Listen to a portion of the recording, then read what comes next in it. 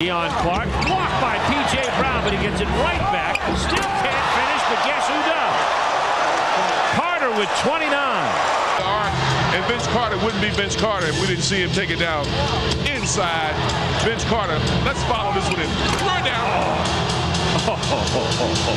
And the game at 7. Up next, you've got to see this. You've been watching NBA basketball on Fox. Sports.